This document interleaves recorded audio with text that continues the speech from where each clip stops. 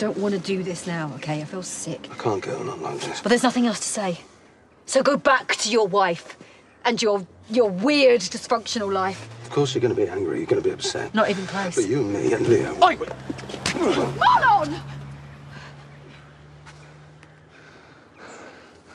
I knew what you were. This is between me and Rhona, not you. Leave me alone, Graham. Please don't make things any worse. Marlon!